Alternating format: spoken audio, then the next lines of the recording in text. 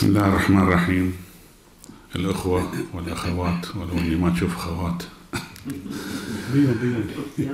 آه، أسعد الله مساءكم بكل خير.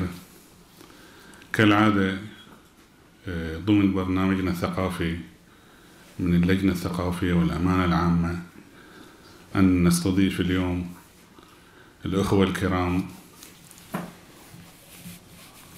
الأستاذ يعقوب سيادي الكاتب الصحفي المعروف. والأستاذ فيصل خليفة عضو المكتب السياسي ورئيس الدائرة القانونية في المنبر التقدمي. حول التجنيس. التجنيس بين المحددات القانونية والتداعيات الاجتماعية والسياسية.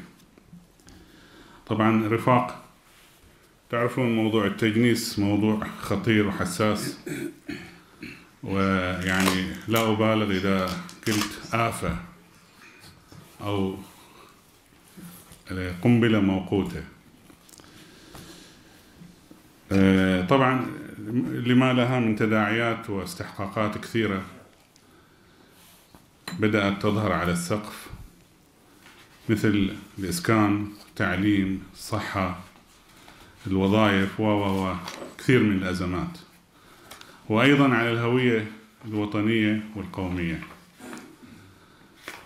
والحقيقة المعارضة يعني ما قصرت. يعني في بداية الأزمة نبهت وحذرت كل الجهات سواء كان رسمية أو غير رسمية من هذا الخطر القادم. وأيضا إذا تتذكرون نادي العروبة لما سوى ندوة سويناها يعني ندوة جماهيرية كبيرة سويناها داخل النادي وبرا النادي عندنا قاعة قاعة برا ساحة كرة قدم أيضا امتلأت ولا أبالغ إذا قلت حضرها عشرات الآلاف. كلها من من كل القوى السياسية المعارضة. وها نحن اليوم نعيش الأزمة والذي طالت الكل بلا استثناء. ولكن شو نقول يعني؟ أه سوف نبدأ أعطي الميكروفون لإخواني ونبدأ بال حسب ما اتفقوا. الأستاذ خليفة فيصل خليفة. سوري سوري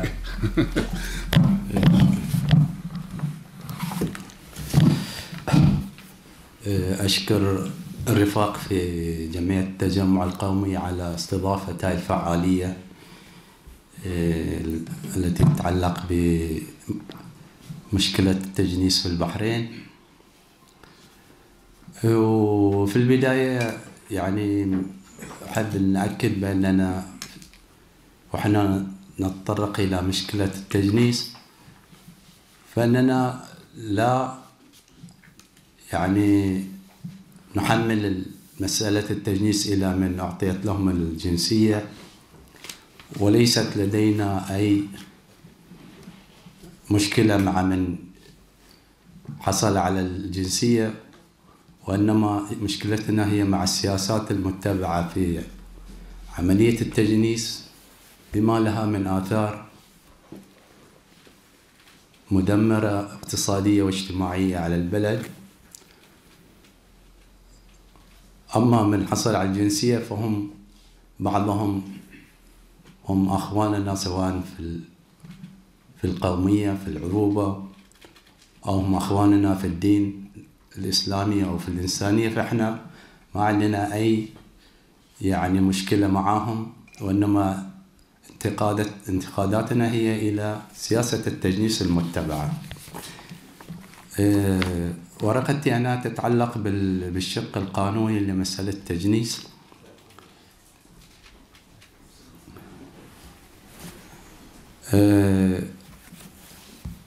والتي سأقرأها عليكم.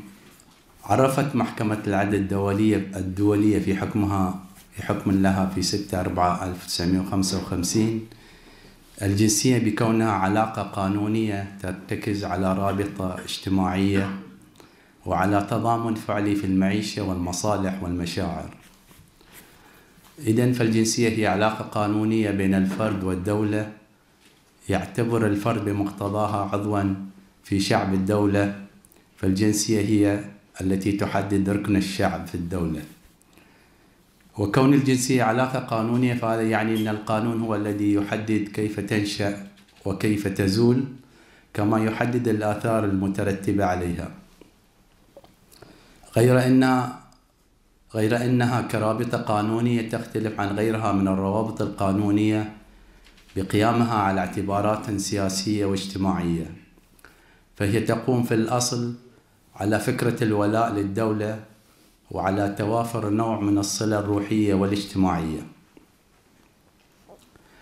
فوجود رابطة حقيقية مادية كانت أو معنوية بين الدولة والشخص الذي تمنحه جنسيتها هو الأساس الفعلي الذي تبنى عليه جميع القواعد التي تضعها الدولة لتحديد الأفراد الداخلين في جنسيتها.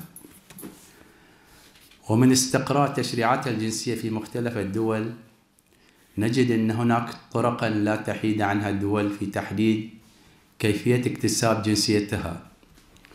والدولة ليس مقيدة باتباع أي من هذه الأصول بالذات ولكن التزامها منحصر في ضرورة عدم الخروج عليها في مجموعها.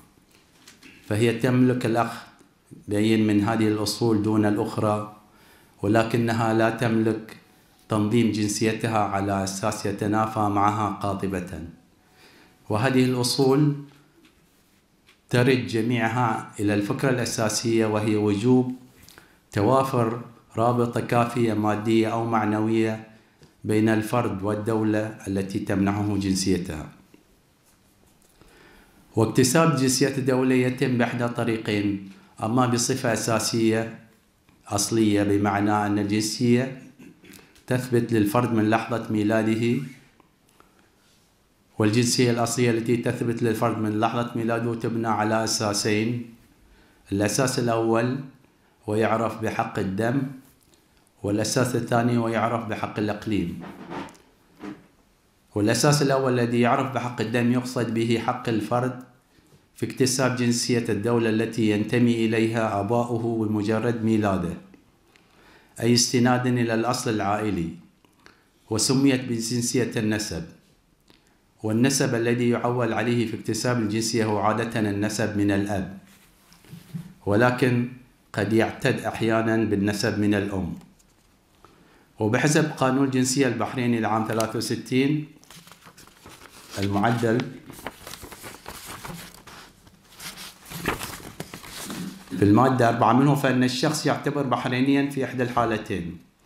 إذا ولد في البحرين أو خارجها وكان أبوه بحرينيا عند تلك الولادة. وباء إذا ولد في البحرين أو خارجها وكانت أمه بحرينية عند ولادته على أن يكون مجهول الأب أو لم تثبت نسبته لأبيه قانونا. هذا هو الأساس الأول لاكتساب الجنسية. أما الأساس الثاني الجنسية الأصلية فيتم بصفة عربية بمعنى أن جنسية الدولة لا تلحق الفرد منذ ميلاده بل تطرو عليه خلال حياته. ويعرف هذا الأساس بحق الإقليم وهو يقتضي أو وهو يقضي بتأسيس الجنسية على الصلة التي تربط الفرد بالإقليم الذي ولد فيه. دون النظر إلى الأصل الذي ينحدر منه المولود أي سواء لأبوين وطنيين أم أجنبيين فالعبرة في الأرض التي ولد عليها.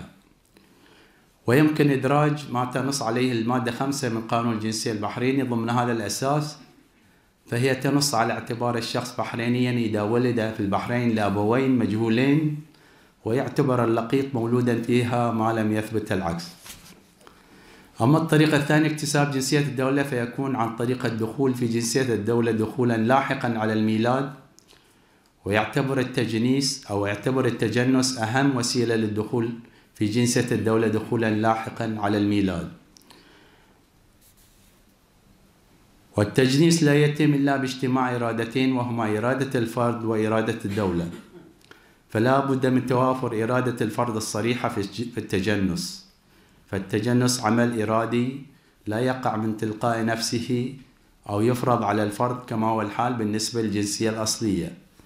فلا يمكن للدولة تجاهل إرادة الفرد فتضمه إلى مجتمعها الوطني رغما عنه. أما الركن الثاني فهو وجوب موافقة الدولة على دخول الفرد في جنسيتها. فالتجنس منحى من الدولة وهو بذلك خاضع إلى سلطتها التقديرية. فالدولة لا تلزم لا تلتزم بمنح جنسيتها للفرد بمجرد تحقق كافة الشروط المطلوبة بل هي تستطيع بالرغم من ذلك رفض طلب التجنيس دون حاجة لإبدال الأسباب. والسلطة التقديرية هنا أمر لازم لتمكين الدولة من تحديد عدد الداخلين في جنسيتها بما يتلائم مع حاجاتها وأغراضها السياسية. فإذا كانت تعاني نقصا في السكان تسمح لأكبر عدد من الأجانب بالدخول في جنس إلى جنسيتها. أما إذا لم تكن في حاجة إلى الزيادة إلى زيادة عدد السكان بل في حاجة إلى ضم العناصر المفيدة إلى مجتمعها الوطني فإنها تستطيع استعمال سلطتها التقديرية في رفض تجنس كل من لا ترى نفعا في دخوله إلى جنسيتها. والتجنيس لا يرتكز على الرباط العائلي ولا يقوم على الرباط المادي التي يتوفر بالميلاد في إقليم الدولة وإنما يستند إلى وجود رباط معنوي في مقتضاه في اندماج في مقتضاه اندماج طالب التجنيس روحيا واجتماعيا في مجتمع الدولة ورغبته في أن يصبح من رعاياها.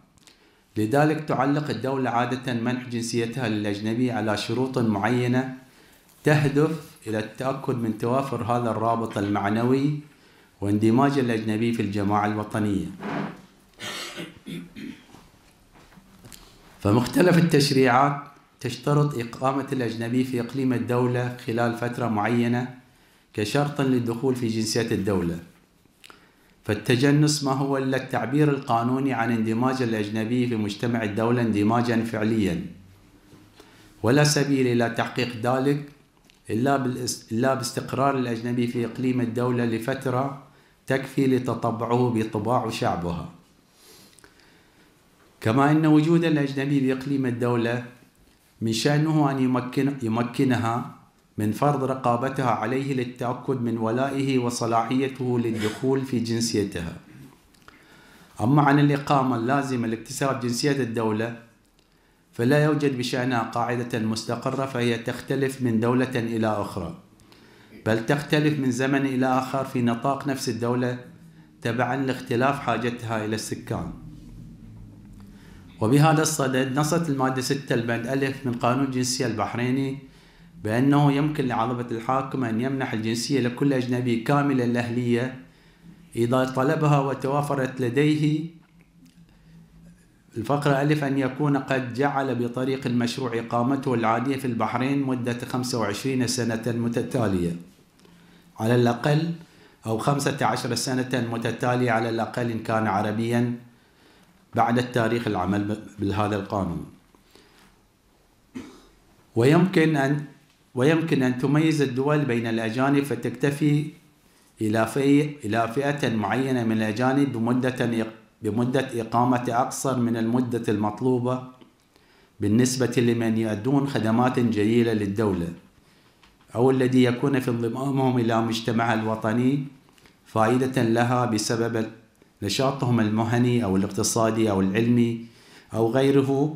وهذا ما نصت عليه الفقرة 2 من المادة 6 من قانون الجنسية البحريني استثناء بما ورد في الفقرة ألف من نفس المادة.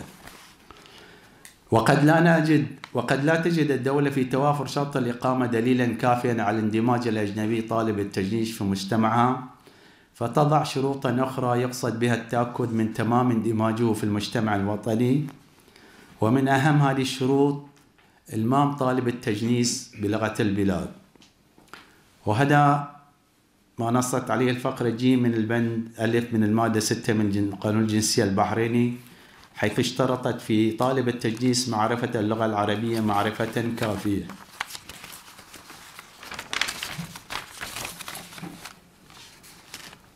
وإذا ما اكتسب الجنسي وإذا ما اكتسب المتجنس الجنسية امتدت جنسيته إلى أولاده القصر وهذا ما تنص عليه البند أربعة من المادة ستة من قانون الجنسية البحريني حيث يعتبر أولاد المتجنس القصر بحرينيين بالتجنس من وقت منح والدهم الجنسية. أما بالنسبة إلى زوجة المتجنس فلا تكتسب الجنسية بالتبعية إلى جنسية زوجها وإنما لها إعلان رغبتها بالتجنس. واستمرت مقيمة مع زوجها في البحرين مدة خمس سنوات. ويجوز لوزير الداخلية الإعفاء من هذه المدة أو بعضها ويجوز له بقرار مسبب حرمان الزوجة من اكتساب الجنسية البحرينية. مشكلة التجنيس في البحرين هي قضية خلافية ودائما ما كانت سببا لإثارة الخلاف وعدم الثقة منذ فترة طويلة بين الحكومة والجهة المسؤولة فيها عن التجنيس وبين المجتمع بمختلف أطيافه من دون استثناء. فجميع التصريحات المنسوبة للمسؤولين تنفي وجود أي تجاوزات في عملية التجنيس. فعلى سبيل المثال ففي رد وزير الداخلية في مجلس النواب على سؤال لأحد النواب وهو ما قطته جريدة الوسط في عددها رقم 2275 في 2 ديسمبر 2008 نفى وجود تجاوزات في التجنيس حيث حدد عدد من تم تجنيسهم خلال خمس سنوات آلاف واثنى شخص فقط. أما مدير إدارة الجنسية السيد عيسى تركي فقد نقل نقل عنه في مقابلة جرتها معه جريدة الأيام. في العدد 8130 بتاريخ 14 يوليو 2011 نفيه ما يسمى بالتجنيس السياسي. مؤكدا انها ادعاءات مرسلة ولا أساس لها من الصحه وتستند إلى أنباء وشائعات. وأن كل ما يقال من قبل البعض عن أعداد المجنسين هي أرقام غير صحيحة ولا تستند إلى أسس أو معايير إحصائية علمية يمكن الاعتراف فيها وإنما هي مجرد افتراضات افتراضات مبالغا فيها للغاية. وأن حقيقة الأمر والكلام المدير إدارة الجنسية هو أن أعداد المجنسين خلال السنوات من يناير 2001 وحتى أوائل يوليو 2011 يبلغ 15136 شخصا. وأن هذا العدد يشمل ذوي الأصول الإيرانية ويبلغ 6011 شخصا بنسبة 39 و 71% من المئة من إجمالي المجنسين. كما يشمل أبناء البحرينيات ويبلغ 464 شخصا. وأن المعدل السنوي للحاصلين على الجنسية خلال هذه الفترة هو 1376 شخصا. وأن نسبة من تم تجنيسهم انخفضت من 1% في تعداد سكان 2001 إلى أقل من هذا النسبة حوالي 95 في العشرة ما في الألف من عشرة في المئة وهي نسبة ضئيلة لا يوجد لها تأثير ملحوظ على التركيبة السكانية.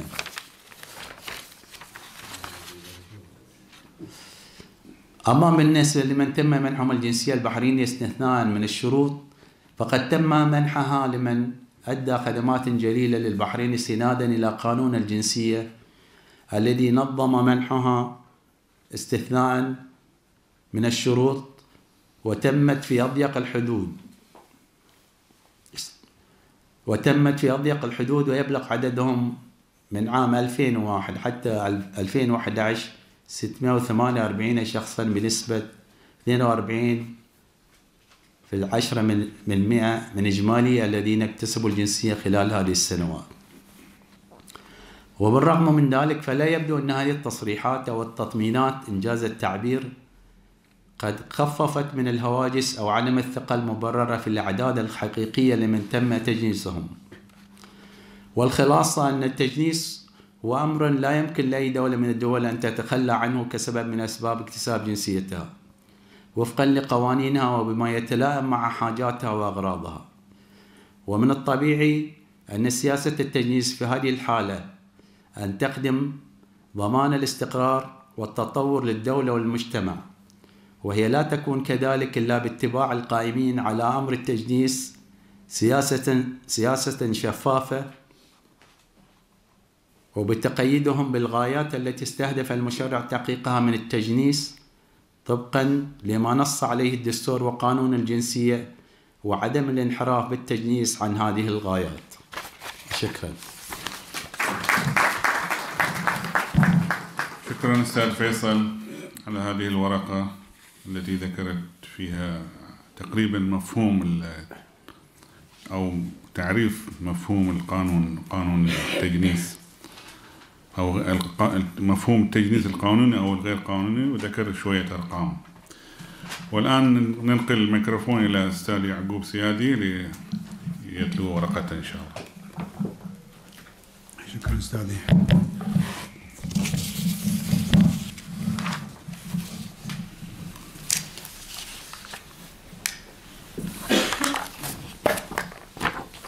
مشكلة التجنيس في البحرين حقيقة مؤلمة نتائجها ويتلمسها الصغير قبل الكبير. ولذلك هي من المهم إلى أن قد نقسو على محاسبتنا للمسؤولين عنها سواء بالقول أو بالنصيحة. عسى عسى ولعل أن يتداركوا ويضعوا يعني أمور آه، حسب آه، نتائجها بيكون بطريقة أفضل أو يعالجوا ما سبق ويعالجوا على الأقل المستقبل أيضا. آه، ورقتي راح تتناول التداعيات المعيشية والاجتماعية والسياسية لأن أستاذنا خط الجانب القانوني. فسأبدأ أولا بقيم ومفاهيم في شأن عملية. سأبدأ آه، أولا في قيم ومفاهيم في شأن عملية التجنيس. واحد عملية التجنيس بحد ذاتها ليست سواء ممكن الدول تجنس حسب حاجتها وحسب ضرورات التنمية وإلى آخره. ليست سوءة إلا إذا شاءت سوري شانت النوايا والتوت مبتغياتها. يعني تنعطف إلى سوء استخدامها. اثنين وعملية التجنيس هي ليست استجابة قسرية لعوامل تتنامى مستقلة دون رقابة ومتابعة ليحق على المعني تسليم صك الجنسية مجبرا بالاستحقاق.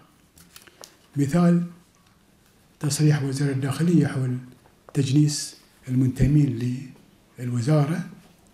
في تقديره كان يعني صورة واضحة لحقيقة الأمر بأن هؤلاء وظفوا مسبقا وأبقوا المدة اللي يحتاجون التجنيس فيها وبالتالي منحوا الجنسية للآباء.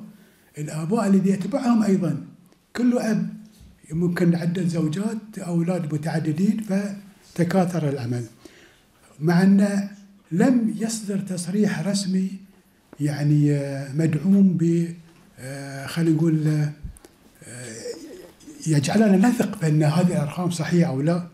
لم يصرحوا بعدد المجنسين قصدي يعني لم يكن هناك تقارير لموضوعة التجنيس بين فترة وأخرى.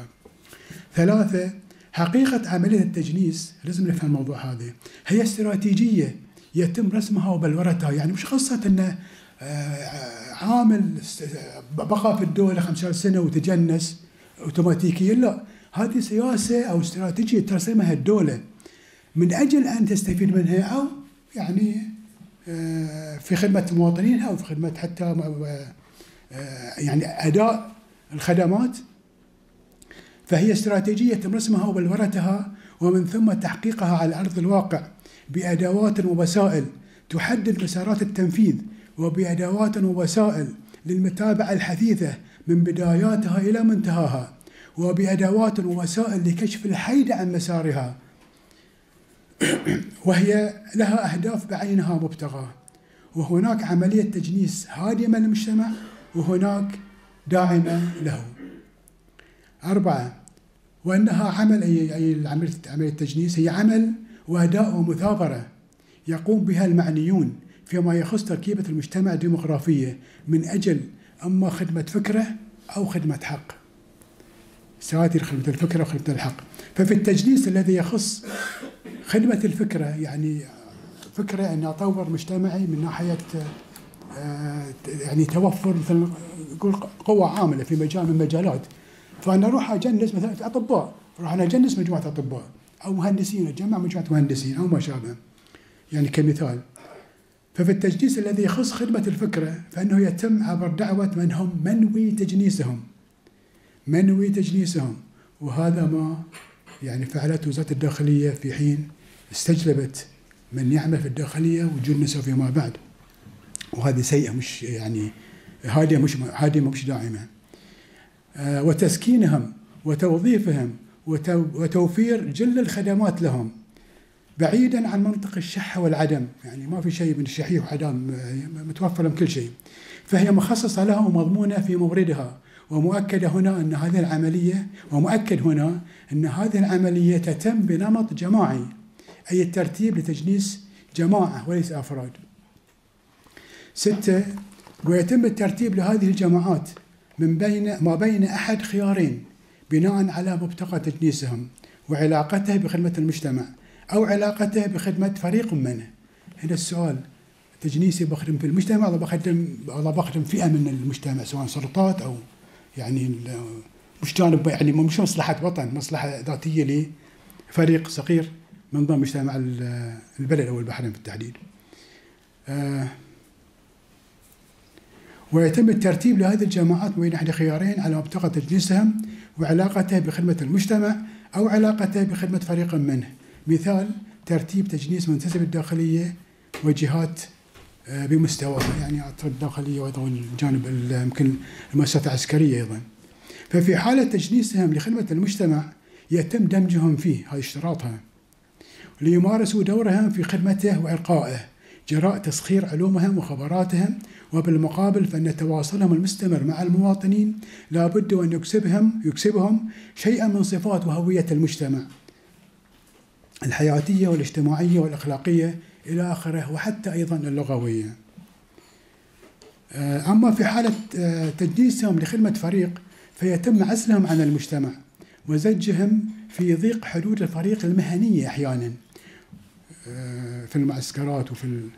وفي ضيق مساحة حياة كما في الخدمة العسكرية فيظلوا على نشأتهم الأولى مفترقين عن المجتمع وعاداته وقيمه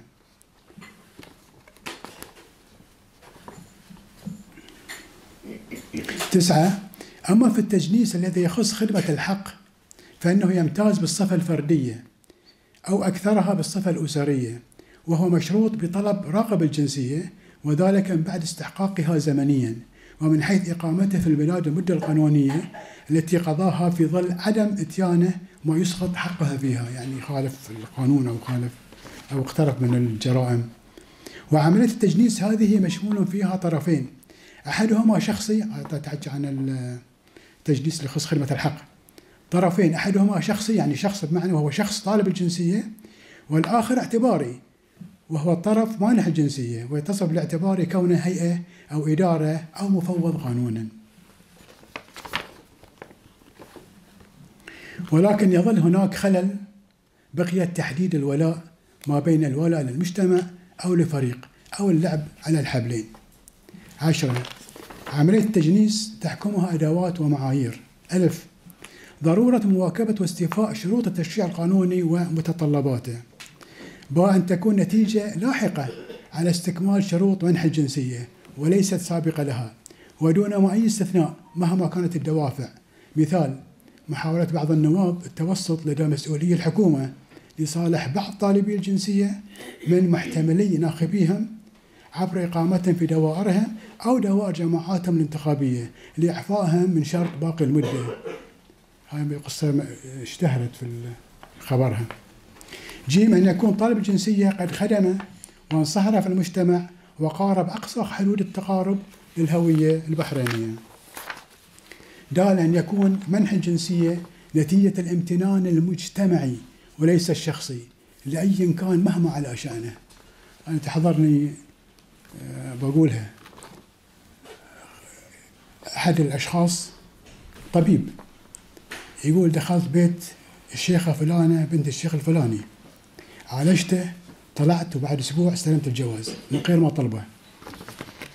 هذا امتنان شخصي مش امتنان مجتمعي. ثانيا استنباط تعداد عمليات التجنيس. طبعا هذه المرحلة هذا الجزء من الورقة استنباط تعداد عمليات التجنيس التي تمت لغاية تاريخها يعني محاول محاولات للوصول إلى أرقام. طبعا في الثامن من شهر مايو 37 1937 بدأ تحديد وحصر الحائزين على الجنسية البحرينية. بداية التحديد. بمعيار ولادتهم في البحرين لأب أو جد بحريني وفقا لقانون الجنسية في حينها رقم 20 على سنة 1356 هجرة طبعا هذه. ومنذ ذلك التاريخ لغاية اليوم لم توفر أي إحصائيات رسمية لحالات وتعداد التجنيس ولكن هناك محاولات من بعض المهتمين لاستنباط تلك الأرقام من خلال تحليل النمو السكاني ومعدلاتها الطبيعية ومن ثم استخراج الزيادة في عدد المواطنين عن غير طريق النمو الطبيعي. من خلال إضافة تعداد المواليد وأنقاص المتوفين من كل عام. وليس لذلك من سبيل سوى عملية التجنيس السنوية يعني الزيادة والفروقات هذه التي تتم التي تتم في الخفاء دون تبيانها في الإحصاءات الرسمية بما يضع علامات استفهام أنا أقول كبر القافعة علامة استفهام كبيرة يعني. ونتيجة أن تعداد المواطنين كان في إحصاء عام 2001 405 ألف نسمة وكان ذلك شاملا من تم تجنيسهم في التسعينات. إلا أن آه وعددهم ليس معلوما لدينا اللحظة. في التسعينات ما عندي معلومة عن الرقم اللي تم تجنيسه. وكان مفترضا حسب النمو الطبيعي أن يصل التعداد في 2016 إلى 598 ألف مواطن. إلا أن العدد قفز إلى 665 ألف مواطن حسب بفارق 137 ألف رقم يعني يتوقف عنده حتى الأصم والأعمى وهو الرقم المقدر لعدد المجنسين خلال الأعوام من 2001 إلى 2016 طبعا هي كلها في إحصاءات يعني ما ما وردت تفاصيل هني أنا وطلعت بالنتيجة لأن يحتاج سوى فيه بال ثالثا أو الجزء الثالث من الورقة تداعيات التجنيس القائم الحالي المعيشية والاجتماعية والسياسية. واحد. من أرقام مشروع ميزانية 2017 2018 تبين لنا ألف نصيب المواطن من إجمالي المصروفات اللي في الميزانية حسب التالي. إجمالي المصروفات في 2017 3 مليار 579 695 مليون دينار. في 2018 3 مليار 687 مليون 194 ألف.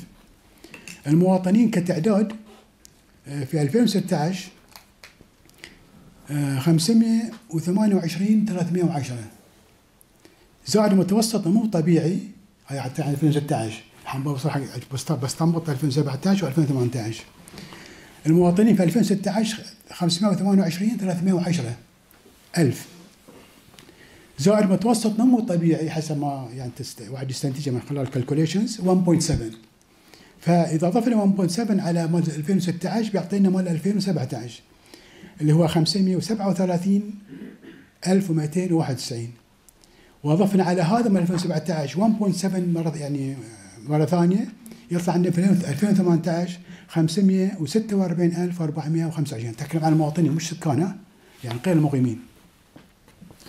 فنصيب الفرد من المصروفات لو قسمنا إجمالي المصروفات على هالأعداد المواطنين بنصل نتيجة في 2017 إلى نصيب الفرد السنوي طبعا. 6663 دينار. وفي 2018 6748 دينار. ليتحصل 137254 أنا بقدر أستخدم كلمة حامل جنسية لأن وزير الداخلية أطلقها. حامل جنسية بدل مجنس. يتحصل هذا الرقم اللي 137254 عامل جنسية ما ما بسميه عامل جنسية ما في مشكلة. ليتحصل آه، 137254 حامل جنسية في 2016 طبعا على المبالغ التالية. 914 مليون و523 ألف وأربعمائة واثنين. في 2018 هذا العدد أيضا يعني حصته من إجمالي المصروفات 926 مليون و189 ألف و992 دينار. والمحصلة أن حصة حاملي الجنسية من مصروفات الميزانية تكاد تقارب مبلغ العجز السنوي في الميزانية البالغ مليار واحد و340 مليون والآخر من كسور لعام 2017 وهو مليار و310 مليون دينار لعام 2018 هذه معلومة يجب الوقوف عنده الحقيقة. أنا ما يعني أتناولها بالتفصيل ولكن أعتقد هي علامة استفهام كبيرة. يجب أن آه، على المهتمين أن ممكن يطوروا الطرح ويطوروا المعالجات. إذا جينا حق نصيب المواطن من دعم الحكومة المباشر.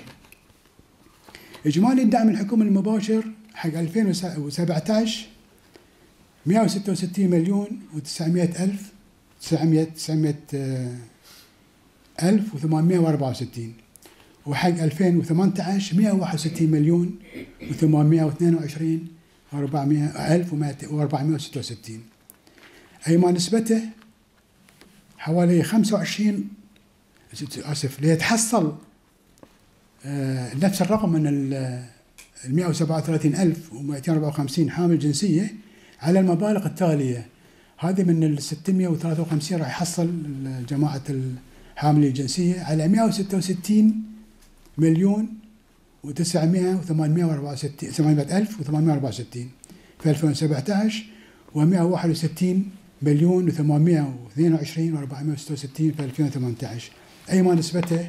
25.55 يعني 25.55 في 2017 من إجمالي المصاريف راح تقول حق الفئة من المواطنين هذولا و25.11 25.11 في 2018 آه، اثنين يشمل حامل الجنسية من إجمالي المواطنين ما نسبته هم يشكلون على نسبتهم كتعداد أيضا 55 25.55 في المئة من إجمالي تعداد المواطنين و25.12 من في 2018 وهذا بافتراض طبعا هذا بافتراض أن أنه لم يتم منح الجنسية في عام 2017 ولا في 2018 لأن لو إضافة الأرقام راح تتغير أزم وتتجه للأسوأ.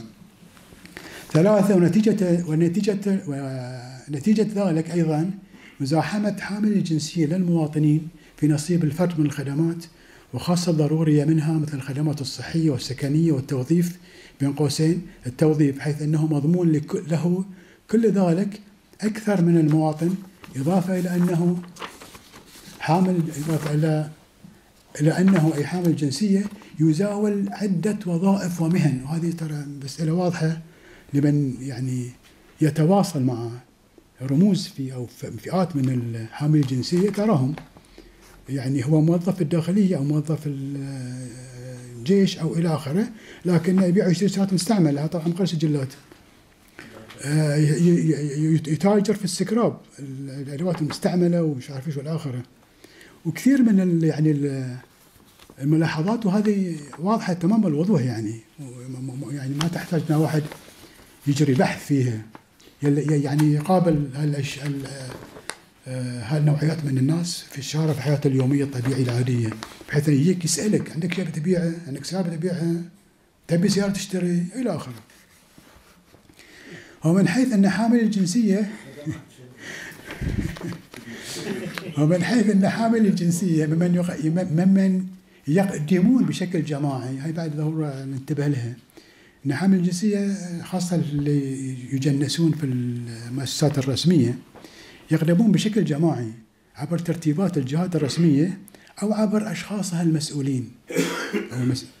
يأتون حاملين هوياتهم ونسق حياتهم وارتباطاتهم الوجدانية ببعضهم ولهم عاداتهم وأخلاقهم فإنهم حتى وإن لم يعزلهم مستخدميهم كما في الأجهزة الأمنية والعسكرية حيث غالبهم يعملون.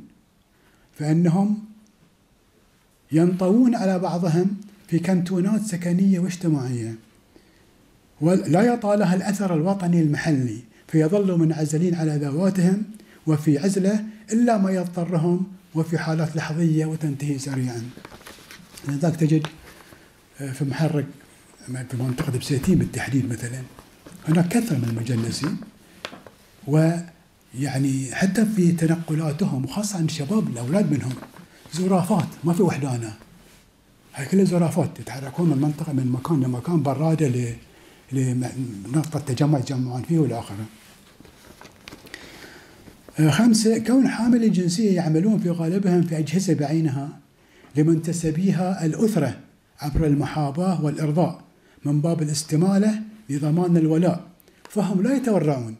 في حياتهم اليومية وحين يوكل لهم حفظ الأمن فيتجاوزون الحدود والحقوق والمسؤولون يبتسمون من باب من صفع خصمي فهو لي سند.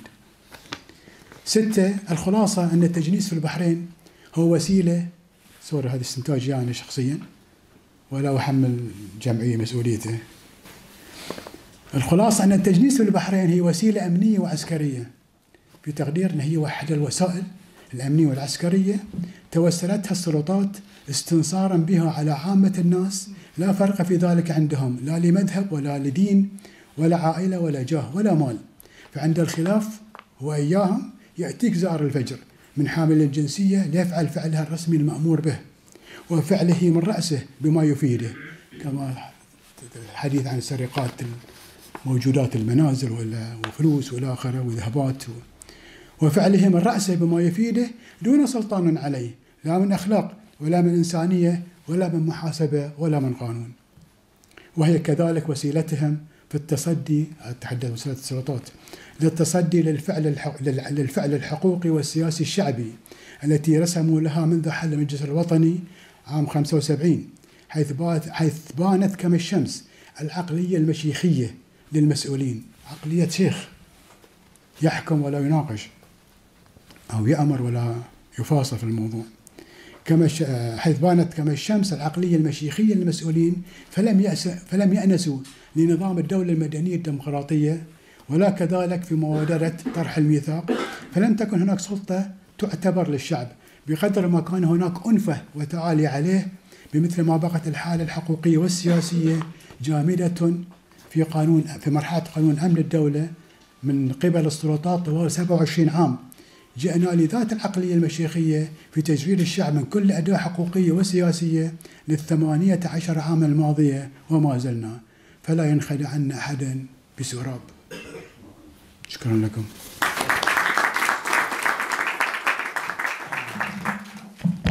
شكرا جزيلا للأستاذ يعقوب سيادي على هذه الورقة القيمة والتي تطرق فيها كثير من النقاط المهمة. والآن آه، نفتح باب الحوار والمداخلات.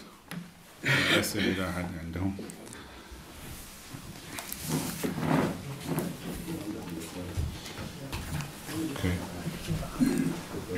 آه، تفضل.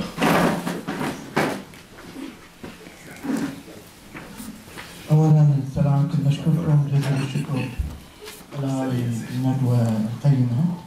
عندي سؤال إلى متى سوف يستمر عملية التجنيس؟ هل يعني السنوات القادمة مستمرة هي عملية التجنيس أو سوف يتوقف؟ يعني لعدد الكباسيتي السكان. والسؤال الثاني آه، طبعا آه، بالنسبة عملية يعني السرقات ما سرقات فعلا هناك الآن عصابات موجودة عندنا مع الأسف الشديد ظهرت وأيضا هناك معلومة ان وجود يعني خطف الأطفال. فهل هذا صحيح؟ بعد الموضوع؟ يعني خطف الأطفال والشغلات هذه شكرا. آه في مداخلة ثانية؟ دكتور عادل. دكتور تفضل.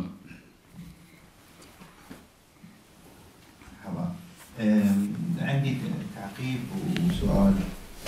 بالنسبة إلى نمو سكان البحرين أخ يعقوب قلت إنه 1.7 أعتقد إنه 2.7 وليس 1.7 أنا أتابع إحصائيات على طول 2.7 بالنسبة للأرقام بالمجنسين في البحرين ذكرت عدة مرات رسميا يعني خليفة الظهراني قبل فترة لما قال ان أصلا البحرين ما جنست أكثر من 120 ألف. يعني رئيس مجلس النواب يقول بس 120 ألف هو هذا وهي تصريح قبل آه، عدة سنوات. فهذا تصريح رسمي يجب أن يعتد فيه. آه، التصريح الآخر اللي طلع من السفاره الباكستانية قبل سنتين أو ثلاث سنوات وقالوا تم تجنيس 20 ألف باكستاني.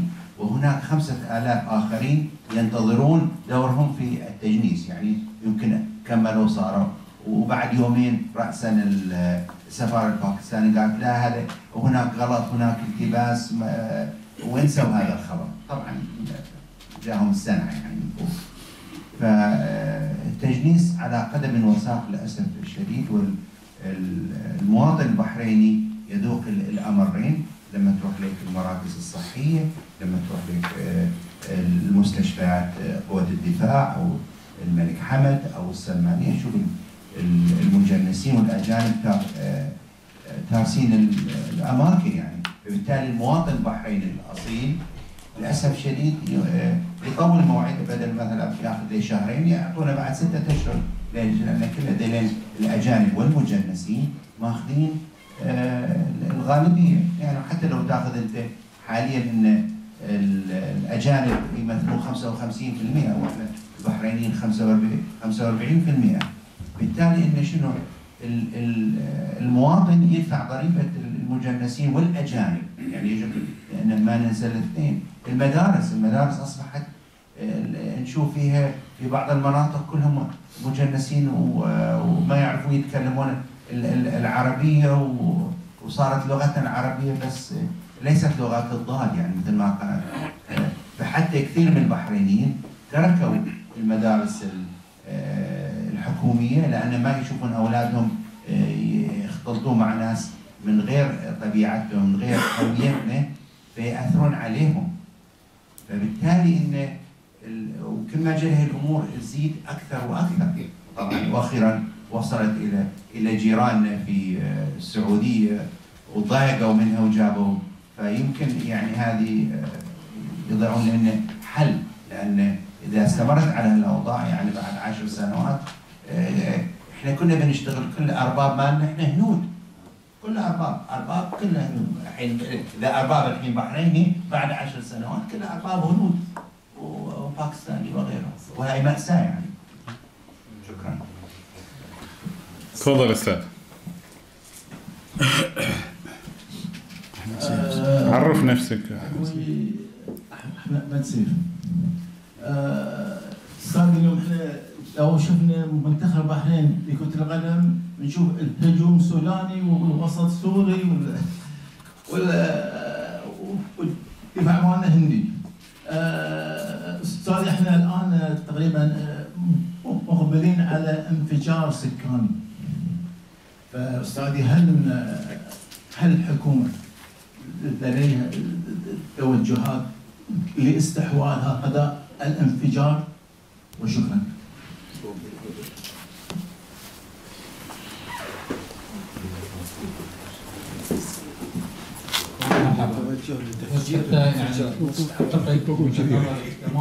أهل الكهف نتحدث عن نصوص. ونتحدث عن علاج. صار علاج بين قوسين طبعا. علاج أعتقد إحنا يعني لازم ما نكون كالضفدع اللي قاعد على حجرة في مستنقع ويعتقد إن دي الحجرة هي العالم. كلنا نعرف وطأة الجوار الإيراني السعودي. كلنا نعرف مخطط تغيير الخرائط من سنوات. وتيرة تنفيذ المخطط اللي كان يجينا أيام الإيميلات قبل الواتساب ونقول يا معقوله يصير هاللون 2008 قريت كتاب عبد الحي زلوم عن صراع النفط في 2008 قريته يقول 2010 لازم أمريكا تحط يدها مباشرة على الليبي. صار 2011 الجوار الإيراني التركيبه البحرينية جلاله الملك لا أعتقد هو يراس جمعية حماية المشروب في الكره الأرضية. هو يحكم بلد. هو حاكم لبلد وهو عضو في تحالف دولي والثقل السعودي ووطأة الجوار السعودي كما وطأة الجوار الإيراني كما إشكالية التركيب السكانية. أنا أتكلم ليس من وجهة نظري أنا أتكلم اللي يعني أر- أرجو أن لا يساء فهمي لا إحنا إحنا نعلق انه هجوم سوداني ودفاع ما إيش اللي يديرون الكرة الأرضية الآلهة دافوس اللي يجتمعون اللي يديرون الكره الارضيه تجار السلاح الخريطه التركيبه اللي يسافر ألمانيا لندن إلى آخره الخالطه في العالم.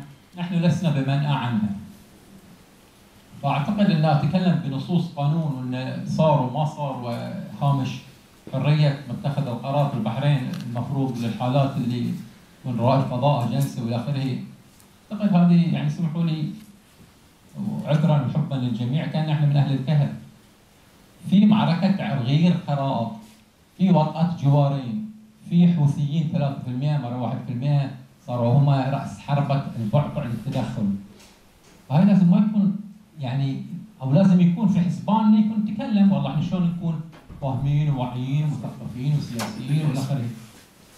واصلكم مشكورين. شكرا. في أحد ولا نبدأ بالحملة الأولى؟ محمود القصاب.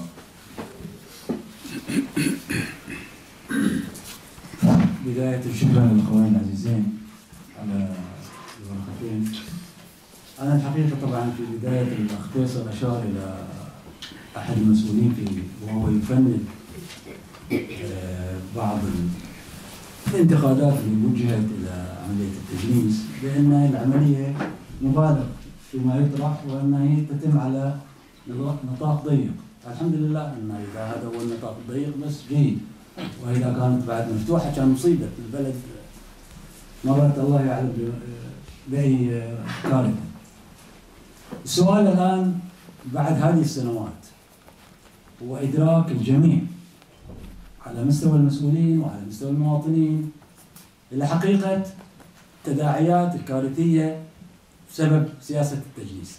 على كل المستويات الآن أنتم أشرتوا له والأخوان أشاروا له السؤال الآن بعد هذا الإدراك هل هناك وسيلة لمراجعة مثل هذه السياسة؟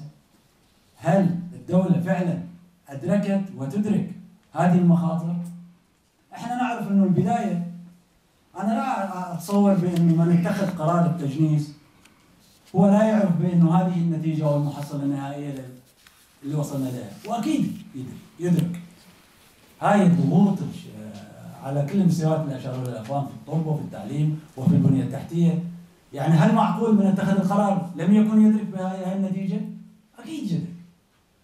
الآن فاض فاضت الكارثة راحت دول الجوار ومستهم بدأ أجاس الخطر تدق على مستوى عالي الصوت صار أكبر يدوي أكثر. الآن هل في مجال للتوقف ومراجعة هذه السياسة؟ هل بالإمكان أن الدولة تقول بأنه إحنا جنسنا 120 ألف؟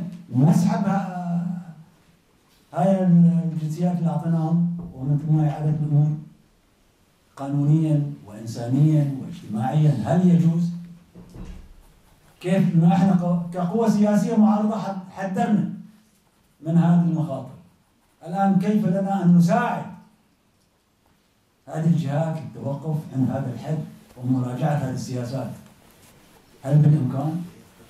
وإلا نحن فعلا مقبلين على كارثة أعظم وأشد شكرا. شكرا محمود.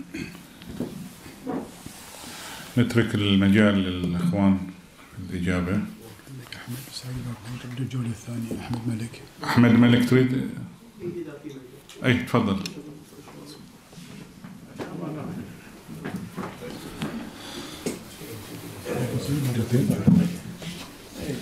شكرا. للجمعيه وللمسؤولين أنا ما عندي حتى يعني كلمه تردد انها تداخل لكن يعني في أمور يعني طبيعية معروف مثلا هل النظام لا يعرف بأن يسبب له ضرر؟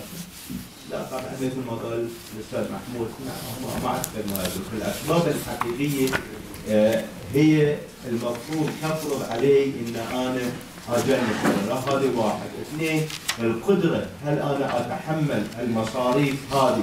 يعني مثلا على سبيل المثال الصين توجهت إلى زيادة النسمة بأن العائلة تنجب اثنين بدال واحد وهذا على ما أعتقد صار في 2012 وكان لسببين، السبب الأولي إن ألا وهو إن المجتمع يكون فيه خال وعم وخاله وإلى آخره ناحية واحدة وهي مو دي الأساس. الأساس الثاني الأصلي إنه يقول يخطون يعني متطلبات السوق العالمي للإنتاج. يعني انت عارف انت بتجيب بشر بتنميهم وبتسويهم عشان تغطي حاجات العالم. يعني أنت قاعد تستثمر هذا الإنسان. تركيبه إذا مو من داخل مو من برا تركيبه من داخل. ففي أسباب أساسية حقيقية. مع الأسف إن هني الأسباب الأس- الحقيقية ل- للتجنيس هي هي غير ذلك. يعني ما لها أسباب حقيقية إن فعلا هي يعني آه، تتطلب منك زيادة العدد. خاصة إن الجانب الآخر إحنا بلد متواضع يعني اقتصاديا. فأنت ما عندك أصلا استثمارية والتجنيس بين الرقم هو فعلا غير أعتقد المعلن آه، والسبب في ذلك إن انت صار الحين صارت ظاهره يعني تشوفها بعينك تطلعها لانك وبعدين بدل ينصهر المتجنس في المجتمع مالك صار إن العكس صحيح. هو ما زال يبي يمشي ثقافته هو. يعني الثقافه مالتك أصلا أنت البحرينية تتأثر بثقافة الآخرين في وقت النهوه إلى آخره فكخلاصة وين أنت مستفيد من هذا الموضوع؟ يعني أنت الحين صرت إلى مثل يعني الموضوع أثر حتى على دول الجوار إلى آخره وكذا أنت وين بتروح؟ أنا أعتقد فيه أعتقد ما أدري مدى صحة هذا لكن هو يعني أعتقد كذا إنه هو في نوع من التوجه على الاقل الحد من أو تقليل أعتقد ذلك لأنه صار يعني مثل ما يقول الماء يزال عنه تأثيراته السلبية جدا أكبر من الإيجابية. وشكرا. شكرا حبيبي. والآن إذا ما في أي مداخلة آه. تفضل حبيبي تفضل. عشان ناخذهم كلهم مرة واحدة. مساء الخير. نفتك منكم آه، شكرا للتجمع على هذه الندوة والشكر موصول للمحاضرين الأساتذة.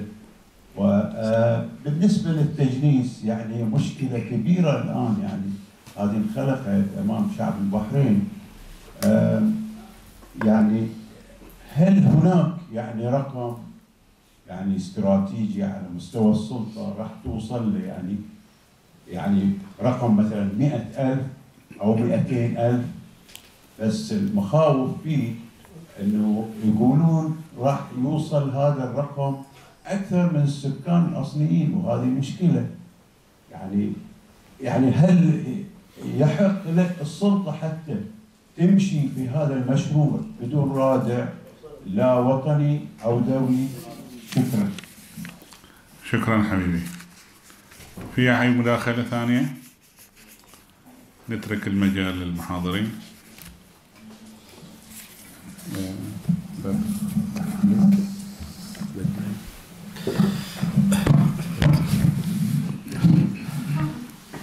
هو يعني في الأساس إن إن كل بلد يتبع سياسة التجنيس بناء على حاجته هو الداخليه يعني. إذا هو محتاج للتجنيس فهذا من الطبيعي إنه لازم يجنس إذا مو محتاج للتجنيس أو محتاج لحدود للتجنيس فهو يختار حسب الاختيارات اللي تساعده على الاستقرار وعلى التطور. للأسف إن إحنا يعني السياسات المتبعة هنا في البحرين ما في شفافية بين المجتمع بين الشعب وبين الحكومة شنو شنو شنو سياستها بالنسبة للتجنيس؟ وما هي الأغراض للتجنيس؟ وكم من هم الذين يجنسون؟ ولا في إحصائيات والعملية كلها صايرة ملتبسة؟ كل واحد يقول رقم ولا تدري وين يعني الصح من الغلط. والسوق وال- مثل ما تقول المسألة ضايعة فهذا بالضرورة أنه يولد عدم ثقة وعدم اطمئنان من الشعب من قبل المجتمع في حين إن في المقابل إن الحكومة تنفي إن وجود تجنيس بهذا الحجم يتح في حديث عنه. وهذا يعني في الأساس إن أنا أقول إن الحكومة تتحمل حتى لو ما الكلام اللي هم يقولونه يعني هم صادقين فيه هم يتحملون هذه المسألة لأن ما في شفافية في المس في, ال- في الوضوح في ال- في كل هذه المسائل. آه، كما ان في يعني إشارات وفي دلائل كثيرة بالنسبة للناس تأخذها كدلائل على وجود تجنيس غير اللي يصرح عنه في حين يعني في في حالة إن ما ما في يعني معلومات كافية وما في حرية للوصول إلى هذه المعلومات اللي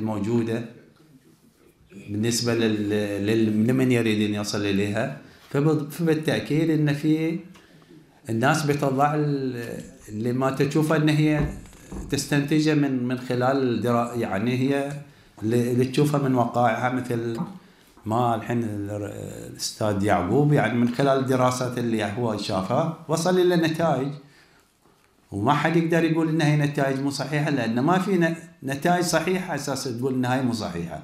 ما في نتائج مطم الناس تطمن إليها عشان يعني تكف ألسن ال- من يقول إن في تجنيس 120 ألف واحد يقول 200 ألف واحد يقول يعني هذه المسألة صايرة يعني ضايعة القصة.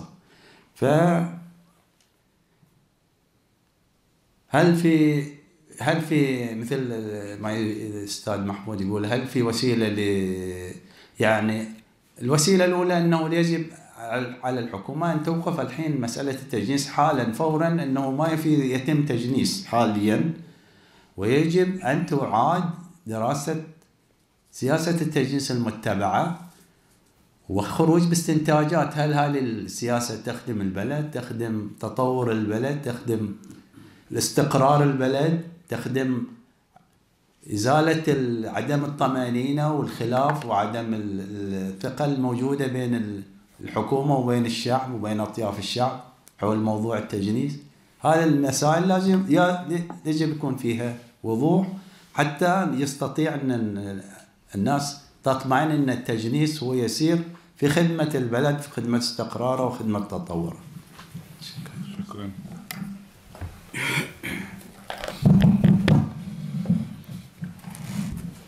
أشكر استماعكم وتعليقاتكم. آه، أستاذ عادل راحت لي. بس كويس إنه على الأقل ذكر هي معروفة العملية من جماعة السفارة الباكستانية.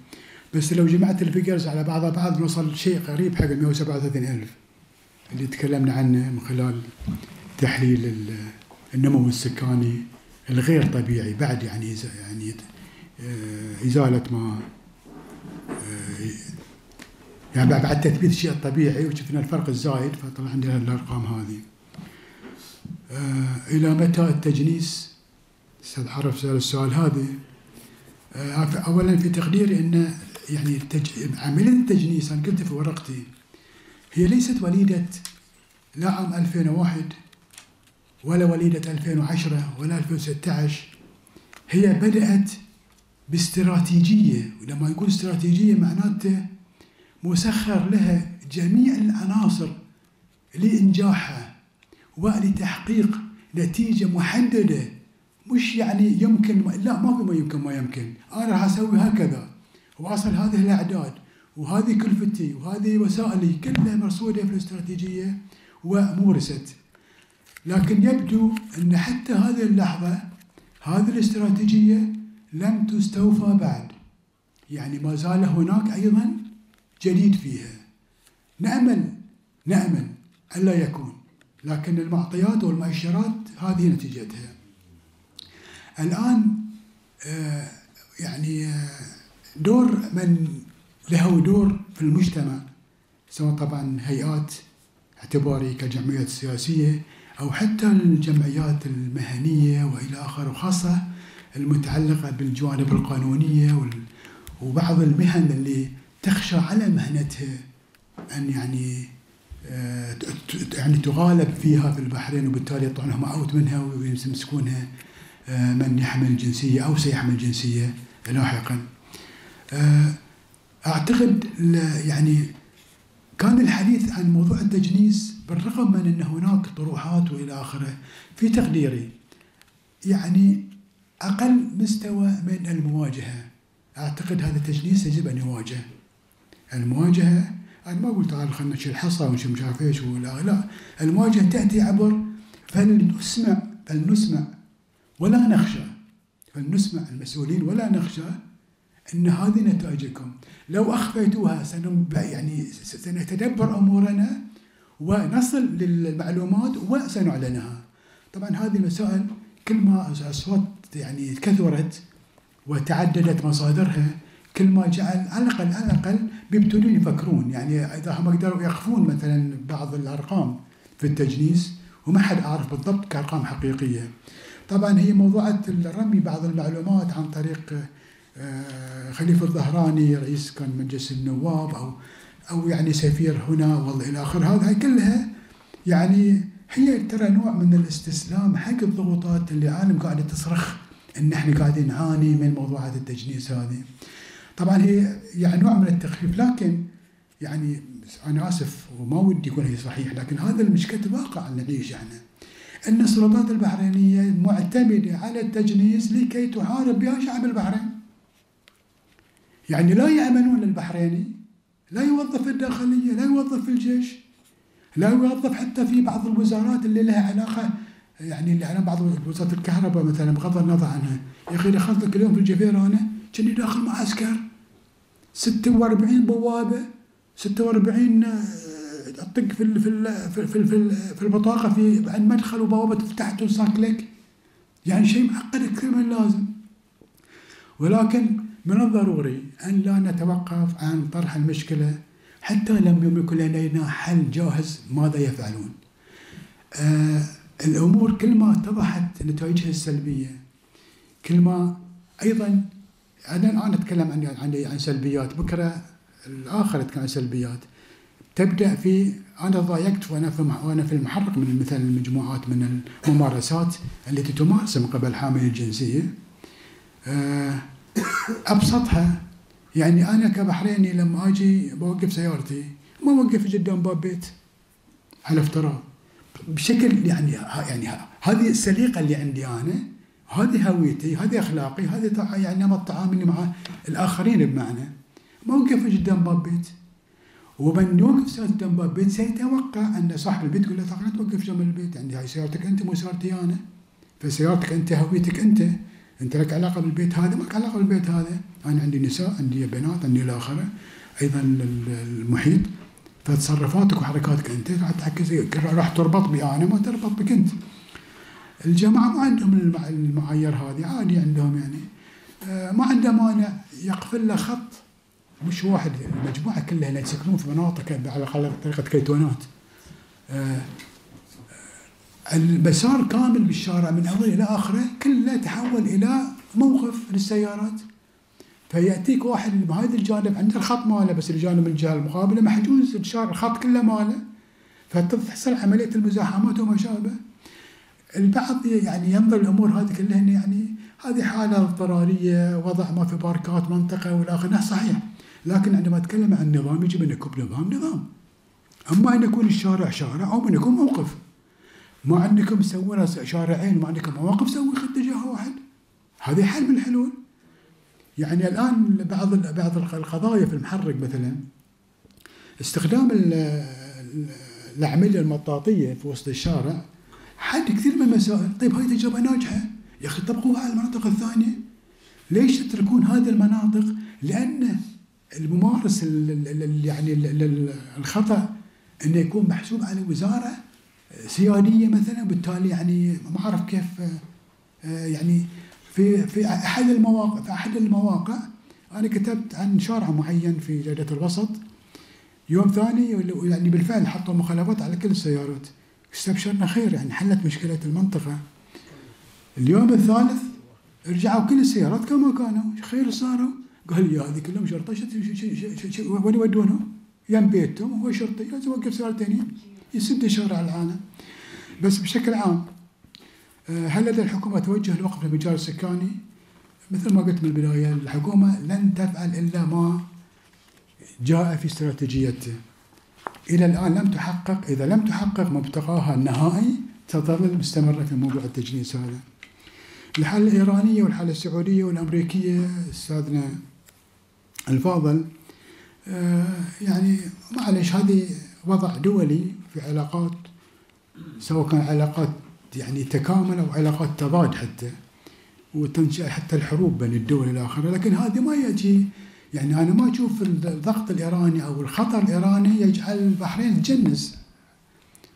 يعني أنا أعتقد أن الحل في ان مواطنين يعني في الأخير أنت لما تتكلم عن عن دفاع عن عن بلاد أو عن وطن بمعنى ما أعتقد في أكثر حمية من أبن الوطن أبن الأرض يعني. عندنا حميه الدفاع عنها. أما الآخر يعني معلش يمكن قطع مقابل إلى حد معين. يعني يعني تدفع لي 500 دينار يعني بدافع ب 500 دينار. بس لما تطوف يعني تكبر الشيله لا قبض آه، شيل ثوبك واشرد يعني. الغريب انه ما أدري إذا كانت أيضا من ضمن الجنسية يعني الآن يمكن تغيرت سياسة التجنيس أو ما يتعلق بالعمل الجنسية. الملاحظ أن إذا الحديث كثر عن التجنيس تجنيس الآن هناك حالة أخرى. سحب جنسيات من بحرينيين. بغض النظر عن هو يعني اصله إيراني اصله آخر بس يعني اكتسب الجنسية بشكل أو بآخر وأصبح رسمي هو بحريني. مثل ما أيضا الآخرين أنا جنسوا بشكل بآخر بحرينيين. لكن يعني فتأتي الحكومة مثلا تسحب الجنسيات هذه طبعا تبتدي مثلا برموز يعني شيخ عيسى قاسم يا أخي فليكن سوى اللي سوى دعا إلى ما إلى إلى ما دعا له طيب أنت الحين في- في بيتك قاعد لك و- م- م- يعني محاصر بشكل أو بآخر وين يعني وين بيروح؟ إيش ممكن يضر البلاد به في حالته الصحية والعمرية وال- وإلى آخره من من المواصفات لشخصه. يعني كان يكفي اقامه جبريه وانتهى الموضوع. على افتراء تخجل تت- يعني تت- تخشى أن تفضح. اقامه جبريه على شيخ دين ومش عارف إيش. يعتبر نوع من الرمز حق يعني طائفة أو جماعة آه، من الناس. هناك حلول أخرى أيضا. لكن الغاء الجنسيه طب الغاء الجنسيه بيروح بالسفرة؟ بعد موضوع ثاني بعد. طبعا بالإضافة حق يعني اليوم كم؟ اليوم أربعة أو خمسة ولا أربعة مسافرين هم أعتقد. خم- أو خمسة. وهناك أحكام تصدر يعني يعني تباعا على موضوع سحب جنسيات طب هذا يعني هل هو يعني سياسة تخويف حق الناس؟ ترى كل من؟ حتى حتى اللي ولد في البحرين اصلي أنا واحد ما أعرف والله من متى في البحرين أنا ولا الله ايد فيني. ما الحين قالك أنت مجنس؟ قوم اطلع من الديرة. لأنه بوايت على هواننا يعني. آه، أعتقد الحل في كشف غطاء كشف الغطاء عن كل سوءة مهما كانت نحتاج أن نتحلى بالشجاعة بالفعل ونكشف كل السوءات ولتكن واضحة عند العالم. آه، أعتقد آه، أعتقد أن هذه النقاط اللي طرحت بشكل عام طبعا في في مسألة أخيرة إذا سمحتوا لي للحظات أستاذي تفضل. مسموح لي إيه.